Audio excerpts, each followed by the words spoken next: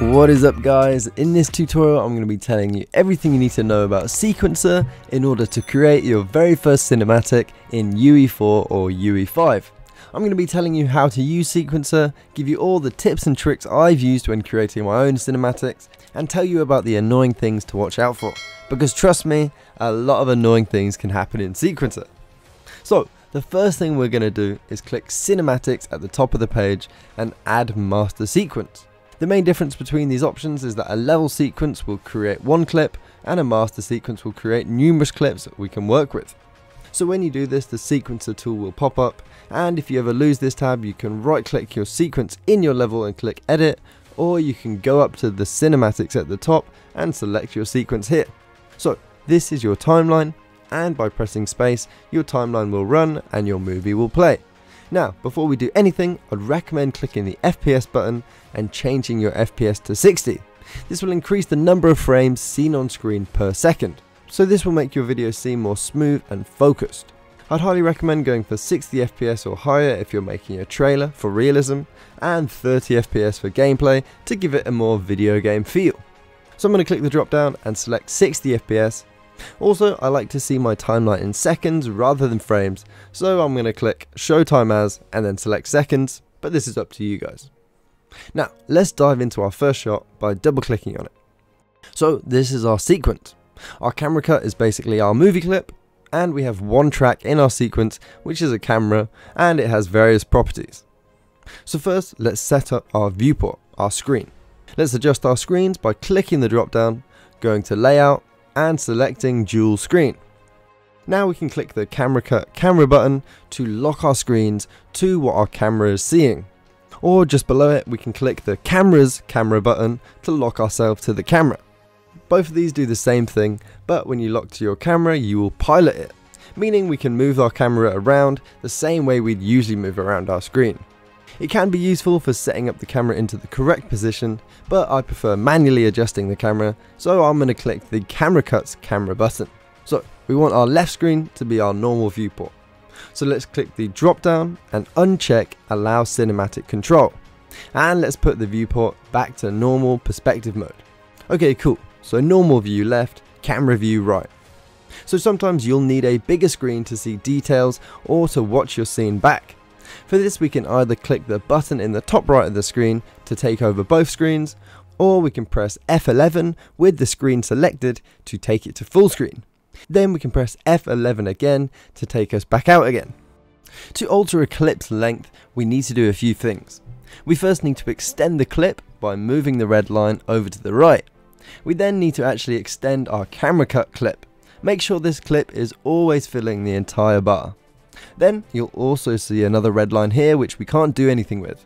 And to extend this we actually need to hop out of our clip by selecting our sequence master and we need to extend the actual length of our clip here.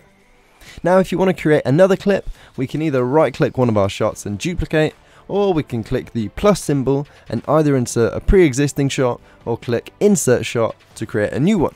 Okay, that's all the settings out of the way. Let's create some clips. So hop into your scene 1. So here we have our camera and its numerous settings. Now, very quickly, aperture is how much of the scene you want to be in focus. Low aperture being a small amount and high aperture being a large amount. Focal length, to put very simply, is how wide or zoomed in your shot is. And focus distance is where your camera is focusing on. So what we can do is go to 0 on our timeline, move our camera into a start position then click the plus sign by our camera transform to create a keyframe. And a keyframe is basically just a bit of stored information, and in this case, we've stored a transform. Now, we're going to select our camera actor and look in the details. Click the focus settings drop down, and what we can do is position our left screen into a similar position as our camera. Then we can select the eyedropper in the details and click on our screen where we want our camera to focus. When you click, your camera will adjust its focus to focus on the point you clicked on. But sometimes it doesn't get it right, or your click may go through the object. For this, I'd recommend bringing in a cube, placing the cube over the point you want to focus on, and selecting the cube using the focus eyedropper. This just guarantees you get the right focus point and your click doesn't go through the object. Now if you want to change our focus multiple times in one shot, we can click the keyframe button to store the focus point, then we can move down the timeline, change our focus and click the keyframe button again to store a different focus. So now let's move down the timeline, click on our camera actor and move it into a new position. Then click the keyframe button by the transform. And it is highly important that you move the camera actor, not the camera component. You can think of the camera actor as a blueprint and the camera an object inside the blueprint.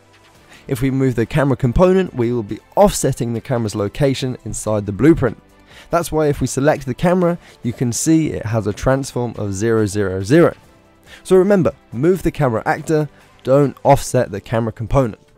So once we make another keyframe, we now have a camera movement path. So the camera will move from the first keyframe to the next over time. So this is the workflow you always want to follow when moving your camera. Move your timeline to the time you want your keyframe to occur, move the camera, and create a keyframe and set the focus. If you move your camera before moving your timeline, when you move your timeline again, the camera will snap back to the last keyframe's position and you'll have to redo the camera transform. So remember this workflow and it's the same for objects but without setting the focus. And that is everything you need to know on how to control Sequencer. Now let's go over some effects and different ways you can capture a scene. So before we get into creating a scene, I first need to show you how you can have lots of different shots all in the same environment. So let's say we want two clips, one of our characters standing still and one of our characters sitting down. And we want to capture this in the same spot in our map. Well, what we can do is select our actor in the level then select track in sequencer, click actor to sequence, and our actor, if selected, should be at the top. Now we've added our actor to the track, what we can do is right click the actor and convert to spawnable. We can also do this to convert the actor back to possessable. You will now see a lightning bolt next to our character and this just means our actor is now scene specific, so it will disappear in other scenes and reappear in this scene. Okay, moving on. How do we actually make actors and objects do things on our screen? Well, what you need to remember is that when you're capturing a scene, you have no control over your character or object. So all the actions must be set up before we hit that render button. And to make a scene, we use a combination of three things. Animations, blueprints, and sequencer settings. So let's start with animation. You'll need an animation for all of your scenes involving characters. And the most common way of using an animation is by bringing in a skeletal mesh, adding the actor to the shot, clicking on the plus sign, then under animation, selecting the animation you want that mesh to play. Our character will now play our selected animation and we can adjust it by extending the clip to loop it or we can change the position of the animation along the timeline by click and dragging it. So here are some examples where I used animation.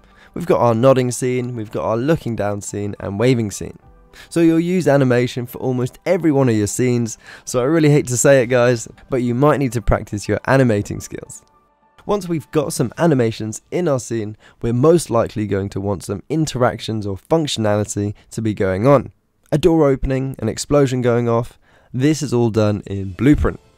Just think of any Blueprint functionality you've learned over the time working with game dev and you can use this knowledge to bring your scene alive.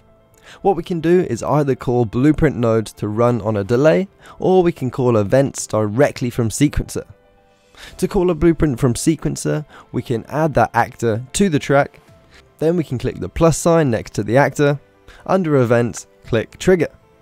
From here we can add a keyframe, then right click that keyframe, under properties, select the event dropdown, go to quick bind and type in the name of your event. This will now trigger your event at the time you set it in the timeline. So for functionality, use blueprints. Here's some scenes where I used blueprints. The train moving was actually a cube set to rotate back and forth. All the train components were then attached to this object. The conveyor belt was actually just a striped material, where inside the blueprint we turned panning on and off to make it look like the conveyor belt was moving. For picking up objects, I actually had three different objects in a blueprint with our character. The objects would then attach to the mannequin's hand out of line of sight. Then the mannequin would move, the item would detach, and when the item was moved off the screen by the conveyor belt, they were teleported back into the original position. So unless you want to animate all these objects doing these things, it's cheap tricks like these which allow blueprints to really have an impact on the functionality of a scene. Once we have our animation done, and we have our blueprinting functionality done, we can now tweak both these things in Sequencer. The main way I use Sequencer is to change the transform of an object. For example, if we want to move our character while he plays a running animation, we can make two keyframes with him at different positions and change the transform. We can also add tracks to our actors or blueprints in a scene. So let's take our third person character for example. Let's first add him to our scene. Now we can click on the plus sign and look through the component to decide what we want to change. So let's add the skeletal mesh. Then for the skeletal mesh we can click on the plus sign again to change certain properties of that mesh. And there are loads you can choose from, but let's say we want to change the mesh color. We find the material we want to change, so element 0, then we can change the parameters of that material. So the only parameter in this material is body color, so we can change that. Now we can change our body color inside Sequencer. For anyone wondering how to fade in a character or make them disappear, this is the method you use, except you'd make a parameter for opacity inside the material, then change the opacity over time in Sequencer. So there are loads of different tweaks you can do to actors in Sequencer, so be sure to have a mess around with them. And that is everything you need to know to actually create a scene. Just remember, create animations for characters or objects if you want them moving in a very specific way. Use blueprints to create events and actions triggering in your scene. And use Sequencer to polish up both of these things with different tweaks and effects. Now let's go over a few more important techniques. Here we have the curve editor. If we click the graph button next to our FPS, we can adjust how each keyframe transitions from one to another. By default our keyframes are set to fade in and out, but we can click on a keyframe to adjust it manually by moving the line, or we can choose one of the above settings. So feel free to mess around with these settings, but for the majority of the clips you'll either use the default settings or linear settings which goes from one keyframe to another with no fade in. Of course there are loads of other options so do a play around with them and remember if you're adjusting keyframes yourself, less keyframes and less adjusting looks a lot more smoother and more natural, so keep that in mind. We can add slow motion by adding a new track, then adding time dilation and adjusting it over here. We can fade in our clips by adding in the fade track, then keyframing it to go from 0 to 1 over time at the start and 1 to 0 at the end. When it comes to movement, like I said earlier, you can give your character a moving animation, then you can keyframe the character to go from one location to another by adjusting the transform. This is a perfectly fine method, but if you've got your character's feet in the shot, you might bump into some issues with the feet sliding around. To fix this, you can use root motion, which basically uses the root bone to drive the movement of the character. For this, you first need a root motion animation, where the root moves with the character. You then need to open up the animation and check root motion inside the details. And from there, you can convert your animation to a montage and play the montage in your character blueprint. Voila! The movement is now driven by the animation.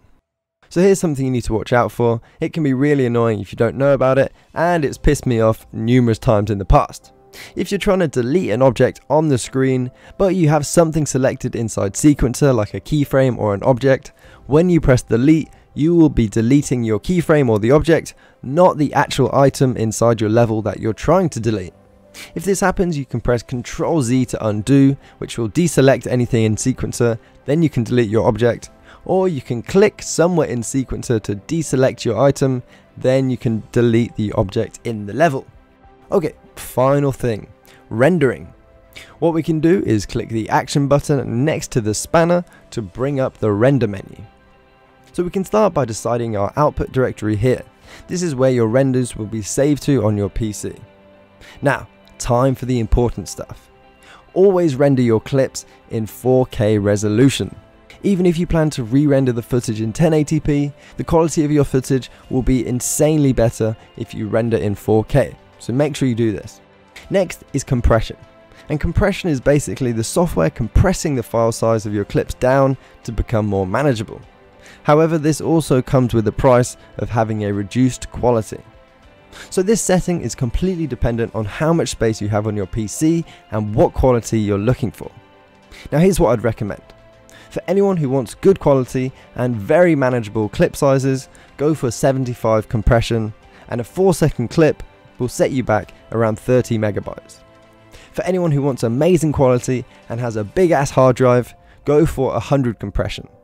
A 4 second clip will set you back around 1 gigabyte. This was the setting I used for my Mannequin Cinematic. And for anyone who wants the best possible quality, uncheck use compression, but be prepared for a huge file size. I can't remember exactly, but for my Pirate Cinematic, I rendered something like an 8 second clip without compression being checked, and it hit me for around 35 gigabytes. Now, one more thing you need to know. Sequencer is made in a way where you can create all your clips and then render the entire sequence in the master sequence. If you want my advice, do not do it this way. Back when I was new to Sequencer, I tried using this method and regardless of the settings, I couldn't manage to render past a minute of my footage due to crashes. But I could render each clip separately, no problem. So if you want my advice, especially if you're rendering with little to no compression, render each clip separately, then put them into a video editing software and put the clips together there. And a quick disclaimer for anyone trying to watch their clips after they've rendered them with little amounts of compression, don't worry, your clips will probably lag. I'm running an RTX 280 Super and when I try to watch my clips, they lag an insane amount. However, once you've imported them into a video editing software and rendered them out, you won't face this issue. This does however bring up the issue that you can't edit your video properly because of the frame lag. So if you're going to be doing a lot of precise video editing, like timing a video to music for example, what I'd recommend is rendering on a low compression first, then editing your clips, and then replacing the low quality clips with high quality clips at the end. So guys, that is it for me. If you have any questions, be sure to drop them in the comment section. Thank you so much for watching and supporting my channel. I will see you all next time. Don't let